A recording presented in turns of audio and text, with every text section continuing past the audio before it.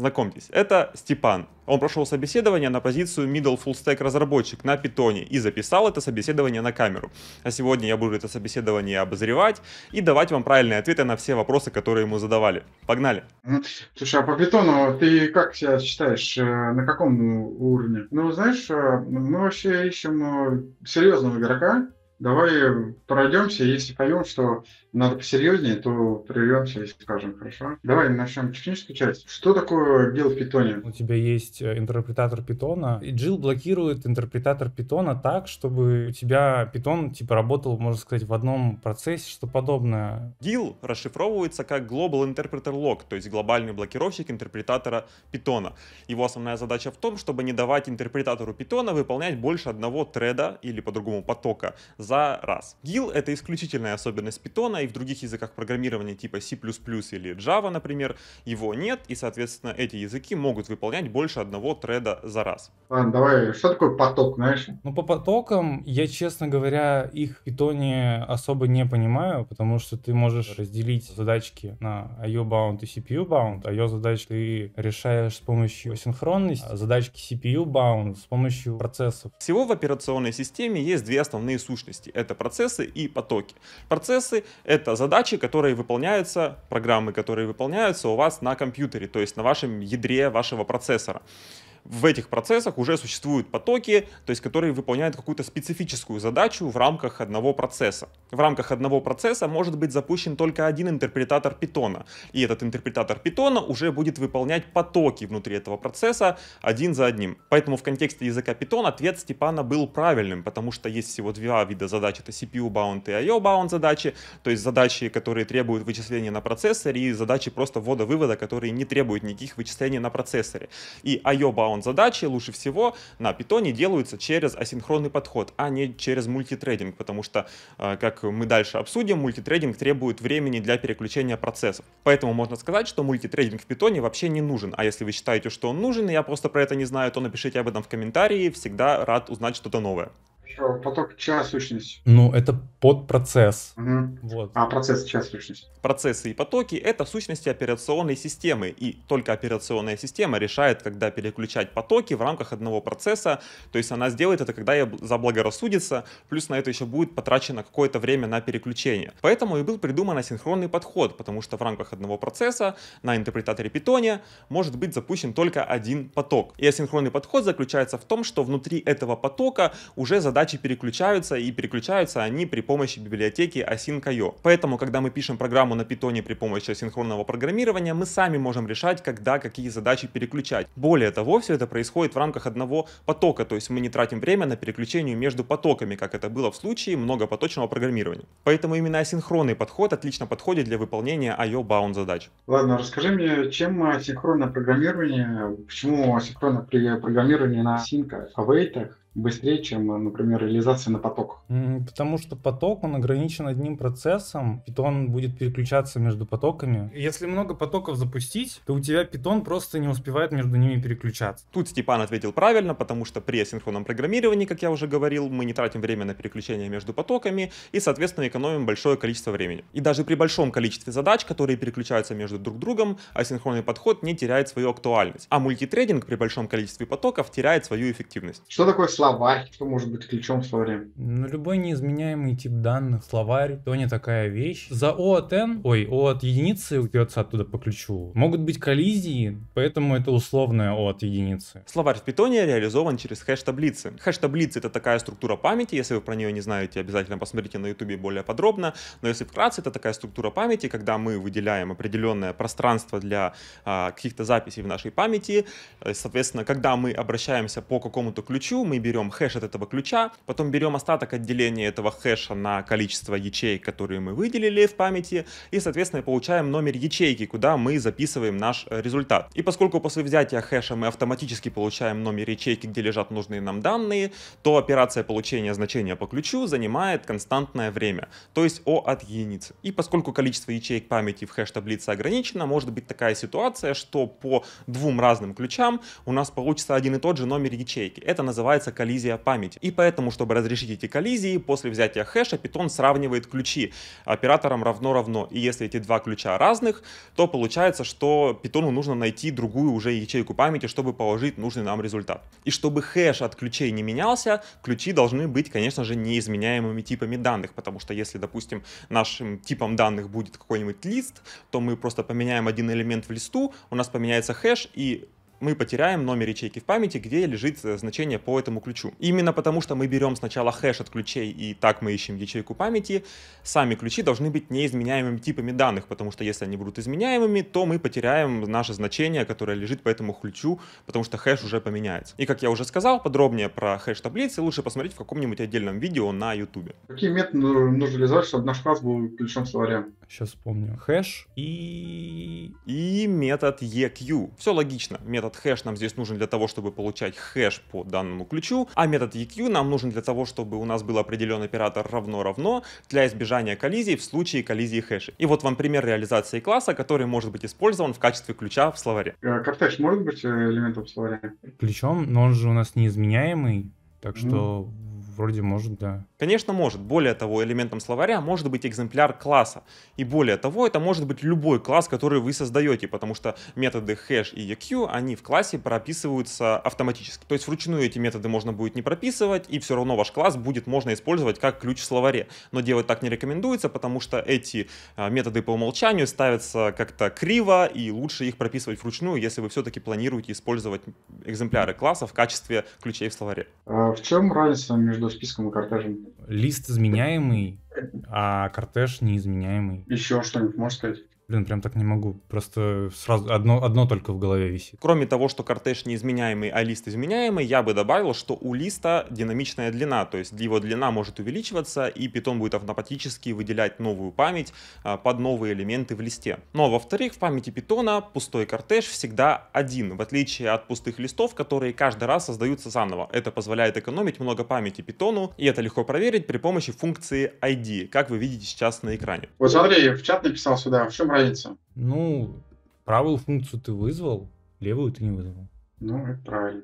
Следующий вопрос. Вот смотри, словарик сделали. Присвоили другой словарь. В другом словаре меняем первый ключ. Что будет в выводе? Наверное, я все-таки отвечу, что и там, и там 0 будет. Это правильно, потому что когда мы пишем d1 равно d2, мы переменной d1 присваиваем ссылку на d2, потому что d2 это изменяемый тип данных. В данном случае это дикт. А как в питоне реализована передача э, параметров функцию? Ты по про... ссылке, по значению или по еще чему? Блин, я думаю, ссылка точно не могу сказать, прям вот стопроцентно. Если изменяемый тип данных передаем, то как передается? И неизменяемый. Вот тюпл, например, передаем 10 гигабайт тюпла. У нас просто полетит, э, это же ссылка на, на тюпл, чтобы не создавать новый объект, я думаю. Ну, то есть ссылка полетит. Ну, ну то есть точно не знаешь, но сейчас э, предполагаешь, да? Ну, я думаю, что да. Я думаю, что да. А типа, зачем нам создавать новый объект, если он и так неизменяемый? Вообще в питоне все реализовано через ссылки. И когда мы передаем функцию или присваиваем переменной изменяемый тип данных, то мы передаем ссылку на этот объект, по которой этот объект уже можно будет изменить. А если мы передаем неизменяемый тип данных, то собственно, мы передаем значение и не можем изменить исходный объект, потому что он логично неизменяемый. Ну, то в питоне, в общем-то, я тебе скажу, там не просто так, знаешь, не просто по ссылке или по значению. Угу. Там похитрее, там по имени ее смотрится на на тип объекта и что там с ним происходит. В общем, там это нужно почитать. Mm-hmm. Нужно почитать, чтобы Я это почитаю, понять. Степа обещал это прочитать, поэтому мы будем ждать от него подробный отчет о том, как это работает в нашем сообществе Unicode. И Степа и я состоим в IT-сообществе, которое называется Unicode. В этом сообществе мы помогаем друг другу, общаемся и делимся советами о том, как проходить собеседование. А еще у нашего сообщества есть огромная база знаний, где собраны вопросы из реальных собеседований. И если вы готовитесь к собеседованиям, вы можете зайти и посмотреть, какие вопросы там вообще встречаются. А еще там собраны ссылки на на полезные материалы, которые помогут тебе в обучении, например, всякие курсы. Поэтому заходи, пока информации не стало слишком много, потому что база знаний пополняется в реальном времени и информации там уже огромное количество. А еще у нас в сообществе есть таблица менторов, где вы можете найти себе наставника для индивидуальных занятий. Все ссылки в описании. Да, так вот смотри, вдогонку, так сказать. Вот смотри, две функции. В одной функции мы принимаем э, список Mm. Вот, и, и в одной функции мы нулевой элемент заменяем, а второй из функции полностью заменяем список. Что будет? И создаем, видишь, два списка независимых, ну, специально для чистоты эксперимента, и дергаем первую функцию, а потом вторую функцию. Вот что будет в выводе? Так, ну, вторая у нас вроде как э, лист, собственно, сам не изменит. Ну, а что значит не изменит? То есть что будет в выводе? 1, 2, 3. Ну, именно в второй функции. Угу. Во второй функции будет 1, 2, 3, а в первой? Наверное, 1, 2, 3, 2, 3. Угу. А почему так? В первой функции мы изменили э, там изначальный лист, а во второй мы заменили ссылку. Угу. Ну да. Все верно. В первом случае мы передаем функцию изменяемый тип данных лист, и, соответственно, меняя этот объект внутри функции, мы изменим и исходный объект по этой ссылке. А во втором случае мы просто внутри функции создаем переменную, которая называется так же, как наша изначальная переменная, а изначальная переменная у нас никак от этого не меняется, поэтому ответ будет правильный. Ну а дальше они, видимо, решили просто поговорить немножко по душам. А ты, у тебя среднее образование написано, да? Да, но я планирую вышку заочно получать, если это нужно, как бы. Ну, мы любим решать алгоритмические уравнения. Шучу, шучу. Ну, просто интересно. А вот образование Python ты сам изучал или где-то? А, я, ну, я говорю, я в Яндексе учился вот в этой фигне, но я ее дропнул и пошел сам учиться. Вот. А ты долго учился? Там написано полгода у тебя? Да блин, я не знаю, на самом деле не особо долго, но я быстро нашел первую работу, и там уже быстренько что-то пытался. Сейчас рынок такой, да? Ну, да. Говоришь, я программист, тебя как берут женом точно. Ну, первая работа там, конечно, так себе была. Вот, но зато много узнал. Угу. Из жизни. Так, ну ладно, смотри. Ребят, давайте дружно поддержим Степика и подпишемся на его телеграм-канал, ссылка на который будет в описании, потому что ему было очень тяжело держаться на этом собеседовании и не заржать. Так что кто хочет узнать, хули он такой лысый, бегом в его телеграм-канал. Следующий вопрос. Параметр по умолчанию. Угу. Значит, мы а, создаем функцию, и там параметры по умолчанию список. А создаем вначале отдельный список. Какой вопрос? Вот мы пихаем туда, вызываем эту функцию 456, что будет в первом выводе, когда мы 456, то есть не указываем второй аргумент. И что будет, когда мы указываем второй аргумент, где 789. Короче, если мы задали L 1, 2, 3, потом мы взяли, вызвали функцию с дефолтным параметром а, лист у нас мы до добавили. Тут просто нюанс есть очень интересный, поэтому вопрос интересный. Вообще это очень распространенный вопрос, который задают на большом количестве собеседований, практически на каждом. Помните, мы говорили про пустые кортежи и списки. Вот в данном случае список пустой,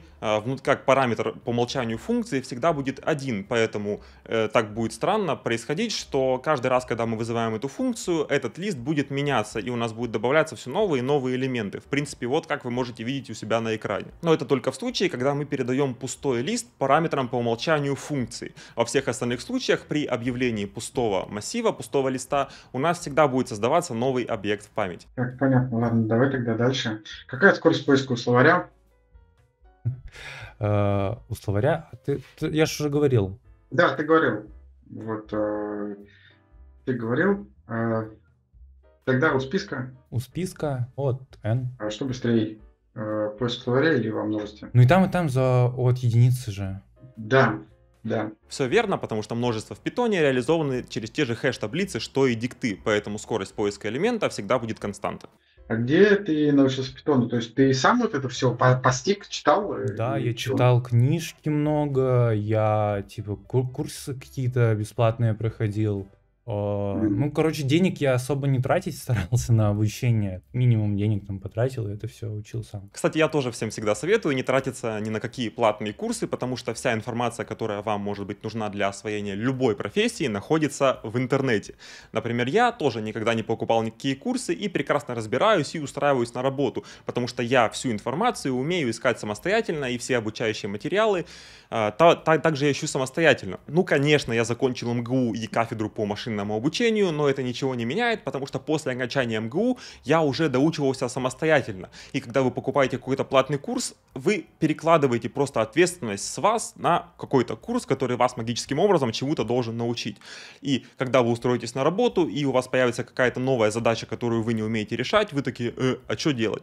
Поэтому учитесь искать информацию самостоятельно с самого начала. А вся нужная вам информация, конечно же, находится в базе знаний в нашем сообществе Unicode по ссылке в описании. Что такое ленивый вычислитель? Вычислениям с точки зрения компьютерной науки? Но вообще концепция ленивых вычислений, она достаточно общая, и она заключается в том, что вычисления происходят не в момент запуска программы, а тогда, когда нам нужно получить конкретный результат какой-то функции. То есть мы считаем по запросу, а не все сразу. Хорошим примером ленивых вычислений в питоне являются генераторы. В генераторах мы не считаем весь массив с самого начала, да, например, там числа Фибоначчи, да, там до какого-то значения, мы не считаем.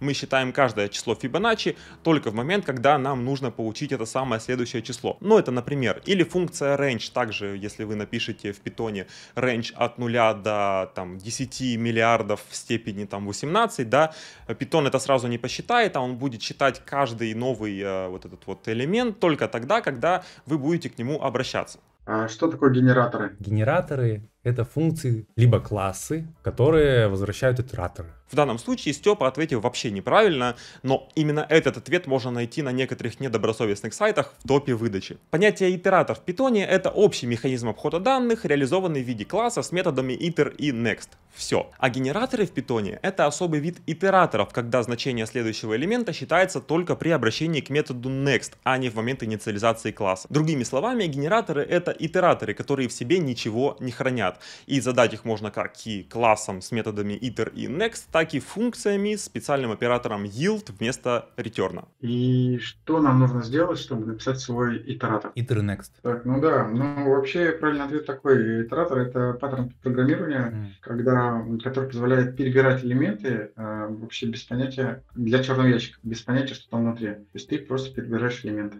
А что там под капотом, тебя абсолютно не интересует. Я бы так ответил. Так, с ООП, как у тебя там? Что такое статик метод? Короче, э, мы обращиваем в классе метод декоратор статик, и потом мы можем, э, если не ошибаюсь, вызывать этот метод прямо от класса. Тут Степа перепутал статик методы и класс методы. Давайте разберемся, что есть что. Всего есть три типа методов. Первое это методы класса, то есть самые обычные методы, которые мы пишем в наших классах без всяких декораторов. Эти методы нужны для того, чтобы менять состояние экземпляра класса. Второй тип это класс методы, то есть методы, которые относятся ко всему классу и не могут менять состояние какого-то отдельного экземпляра класса, но зато могут менять состояние всего класса, меняя какие-то глобальные переменные в этом классе. И третий тип это статик методы, самый кастрированный тип методов, который не может менять ни состояние экземпляра класса, ни состояние всего класса. И нужны они просто для красоты, они работают как обычные функции, которые просто получают на вход какие-то данные и что-то с ними делают и считают. А к классам они относятся тупо для красоты. Но кто это не знает, обязательно изучите про это подробнее, это очень интересно. Ну, он нужен для инкапсуляции, то есть когда тебе не нужно там знать какие-то состояния, да. но метод э, что-то рядом э, по логике э, с тем, что ты хочешь сделать. Не обязательно писать все время там э, методом класса, да, чтобы создавать класс, там, пишешь статик метод и все. Сейчас, извиняюсь, буквально секунда. А, давайте позже позвоните, я сейчас занят. Ну, поехали дальше. Что такое класс метод? Класс метод, вот как раз таки это, видимо, та вещь, про которую я говорил. Ну и напомни в двух словах. Ну. Да, и чем класс метод отличается от метода класса? От чего? От метода класса. Ну, а это мы с вами уже обсудили, поэтому идем дальше. А смотри, ты работал в команде или все время один? Гид знаешь, Джиру? А, гид знаю, Джиру использовал совсем Типа мы на хакатоне открывали ее, в итоге забили, потому что никто ее не знал. А так э, в Trello в основном бэклог. Кстати, для своих проектов я тоже пользуюсь Trello, и это очень удобно. А в компании, с которой меня недавно уволили смотреть это видео, мы пользовались линером, а Jira нужна для скуфов. С дата-классами работал? Почему вопрос был? Потому что было интересно, как ты реализовываешь э, взаимодействие. Вот написал ты класс, какие-то методы, вот э, что они у тебя возвращают, вот, и как ты это описываешь. Поскольку я не так много прогал на питоне, дата-классы я не использовал в своей работе, но эта штука очень удобна для хранения возвращаемых данных. Конечно, с тем же успехом можно возвращать кортежи или словари, но дата-классы вроде бы считаются хорошим тоном и принято их использовать. Ну, ну, работаешь ты в команде, у тебя например, написано, что вот, э, распарсить JSON и вернуть ответ. Мгм. Как ты будешь реализовывать его, вернуть ответ? Э, Я могу педантик использовать. А ты использовал его? Да.